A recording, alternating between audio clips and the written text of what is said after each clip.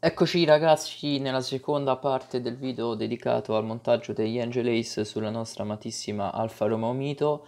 Come possiamo notare partiamo subito con la rimozione delle tre alette sull'Angel per il fissaggio non so in quale faro e ovviamente le togliamo così da non renderle visibili eh, dall'esterno principalmente quindi è soltanto per un pregio estetico e basterà semplicemente eliminarle eh, così ecco.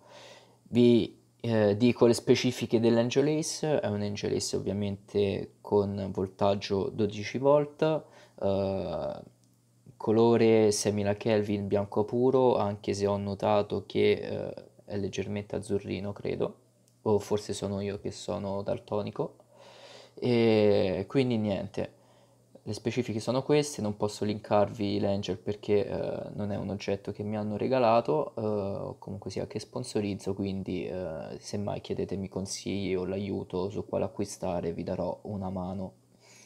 Detto ciò andiamo a infilarci il nostro Angel dentro il cerchietto del faro, ovviamente facciamo passare il filo. Ah, eh, una cosa che non vi ho detto, quel cilindretto nero che vedete è la resistenza, quindi questo è un Angel che eh, ha la capacità di eh, inibire l'errore del CDB, computer di bordo.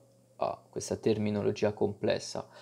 L'ho fatto aderire parallelamente a tutte le pareti del cerchio del faro e ovviamente l'ho messo in modo tale che sia tutto nascosto, che non si veda nemmeno il filo. Infatti, come vedrete tra uh, un attimo, andrò a incollare eh, il filo eh, lungo eh, il faro. Ho utilizzato una colla molto potente della Bostik, voi potete prendere quella che più vi piace. Io comunque sia ho selezionato questa, mi sembrava la più adatta, spero che non si scolli. E ovviamente l'ho incollato su tutte le parti che aderiscono alla perfezione sul faro. Non so se si vede dalle immagini, io più o meno lo vedo, eh, ma non tocca su tutti i lati, è inevitabile perché eh, la plastica è fatta in questa maniera, eh, quindi mannaggia Fiat. Ho incollato inoltre anche il filo, così il filo non starà penzoloni in giro, quindi ho cercato di fare il lavoro più pulito possibile, come potete vedere dalle, dal video, dalle immagini del video. Una volta che abbiamo incollato tutto possiamo iniziare a mettere la plastica eh, dentro al faro, fissiamo tutto, facciamo passare il cavo dell'Angel nelle parti meno fastidiose, eh, penso di aver fatto il lavoro al meglio possibile così da non, non recare fastidio magari al motorino del, del livellamento delle luci degli anabbaglianti Inoltre ho, eh, ho fascettato i cavi dell'Angel insieme all'altro blocco di fili, quindi è stato un lavoro molto certosino ragazzi, cioè magari non vi faccio vedere tutto perché ci sono parti che non si possono registrare proprio, in cui lavoro proprio dentro al faro e è un lavorone. Comunque mi sono fatto passare i cavi sopra perché andremo a collegarli alle luci della lampadina T20, quella di posizione e qui è un lavoro abbastanza complesso in quanto dobbiamo fare il collegamento. Io volevo che eh, l'Angel Ace fosse collegato alla luce diurna, quindi alla 21 watt. In ogni caso non potete sbagliarvi sul collegamento della massa dell'Angel, in quanto il cavo che trovate tra i tre rossi, il cavo che trovate singolo è quello della massa. Quindi se non sta in colonna è quello della massa e su questo non potete sbagliarvi. Mentre su quei due rossi che vedete in colonna, eh, uno è rispettivamente della 5 watt e uno della 21 watt. Voi dovete collegarlo a quello che vi risponde con 21 watt, che sarebbe quello della luce diurna, ovvero eh, quella che tenete insomma la mattina, ecco, o quando accendete soltanto la macchina senza attivare gli anabbaglianti. Eh, in ogni caso se vi sbagliate rifate il collegamento, ecco, nulla è perduto. non, non vi scoraggiate. Io vi consiglio l'utilizzo di un tester così andate a botta sicura. Ho fatto il fissaggio con uh, questi, questi morsetti di collegamento, non ho saldato in quanto è una posizione molto scomoda e ho preferito agire in questa maniera. Comunque sia funziona tutto, è, è tutto insomma in regola, ecco, non vi si brucia niente, anzi è tutto molto protetto. L'importante è che non lasciate i cavi scoperti. Quindi una volta che ci siamo fissati il tutto, eh, anche quello, il cavetto positivo dell'Angel che va collegato a un cavo della 21 watt, mi sono attaccato l'adesivo Alfa Romeo Consiglio dovete metterlo leggermente più in basso, ecco, eh, verso destra, in quanto tocca vicino alla cornice. Ovviamente fate un test di funzionamento, quindi staccate il connettore dal faro, quello dentro la macchina, lo tirate su, è molto lungo come cavo, lo collegate ai fari. Qui ho acceso tutto, zero errori, tutto nella norma, tutto regolare. Andiamo a vedere. Ovviamente dovete avere attive le luci diurne dentro al computer di bordo. Qui funziona tutto, molto belli, colore molto bello. Come potete vedere gli anabbaglianti sono spenti, adesso controprova con gli abbaglianti accesi. E infatti gli angelis sono spenti e tutto a posto. Io vi consiglio di rimuovere tutte le lampadine se avete lampadine all'interno.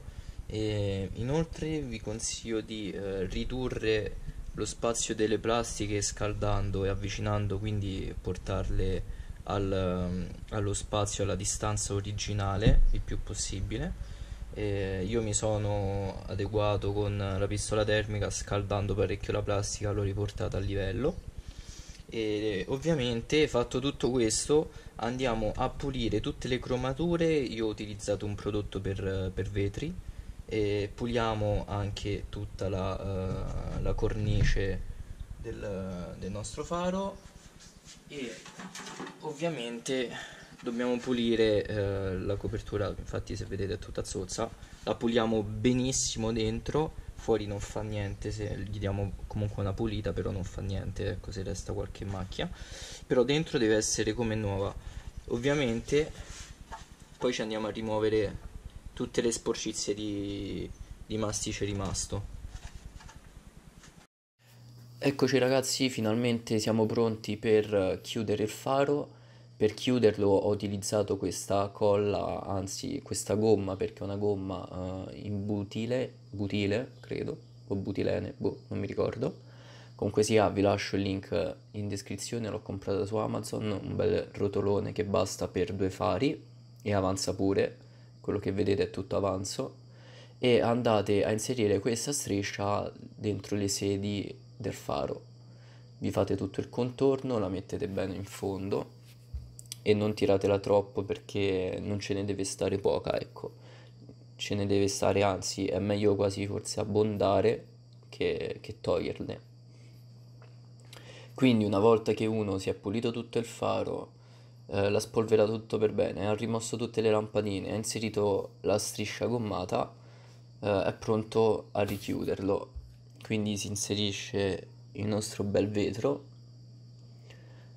Io l'ho inserito più a fondo possibile per metterlo nella sede corretta e una volta fatto ciò si può passare eh, a scaldare il faro. Per scaldarlo cosa ho fatto? Io mi sono preso una scatola che vedrete a momenti e appunto ho inserito il faro dentro la scatola, ho chiuso tutto, ho fatto un buco per inserire la pistola termica che vedete lì in basso arancione. Uh, ovviamente ho acceso la pistola termica e l'ho lasciata per quasi 15 minuti a 250 gradi eh, io sinceramente è la prima volta che lo faccio e non so dirvi se è giusto o no, però io ho fatto così, non mi si è squagliata la plastica, non mi si è squagliato niente e ho richiuso tutto e mi sembrava tutto a posto. Una volta che è tutto bello squagliato andiamo a spingere bene con dei guanti ragazzi perché bolle, il faro veramente scotta. E non vi preoccupate se sporcate il vetro del- di colla perché a me è successo, mi si è attaccato un po' di colla sui guanti senza me ne sono accorto. E poi appoggiandomi appunto sul, sul faro l'ho sporcato, ma si può pulire tranquillamente con del VD40, prendete uno Scottex, mettete un po' di VD40 sullo Scottex e andate eh, a togliere la colla, viene via subito, quindi proprio non preoccupatevi. E quindi riportiamo tutte, tutte, mm, tutte le strisce, tutte i contorni del faro a paro con la plafoniera trasparente. Ovviamente qui dobbiamo avere tanta pazienza e chiudere al meglio, perché più uno riesce a chiudere, a chiudere ermeticamente e più hai sicurezza che non entri l'acqua e che il faro non faccia condensa. Vi posso dire che io ho anche già lavato la macchina, proprio ho sparato con l'idropulitrice sul faro, non fa condensa, non entra acqua, quindi posso dirvi che ho eseguito il lavoro bene. Nelle parti in cui ci fossero piccoli spazi o vuoti, io ho utilizzato del mastice nero silicone e, e ho richiuso tutto, ho passato appunto questa striscia lungo tutto, tutto il bordo per mettere tutto bello a paro, come proprio per creare una guaina perfetta. Ve lo consiglio, vi consiglio di farlo, nonostante ci sia la gomma sotto in butile che già di per sé chiude perfettamente il faro se avete fatto tutto correttamente. Però, insomma, sempre meglio essere sicuri, anche perché il faro io non lo riapro, ecco. non credo che vorreste farlo anche voi. Quindi mi sono ricoperto di mastice di silicone sopra la gomma, tutto il faro.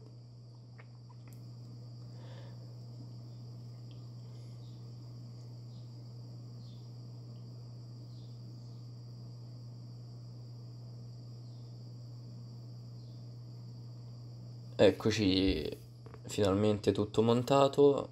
Vi lascerò il link al video dello smontaggio dei fari perché sennò questo video veramente diventava di 70 ore.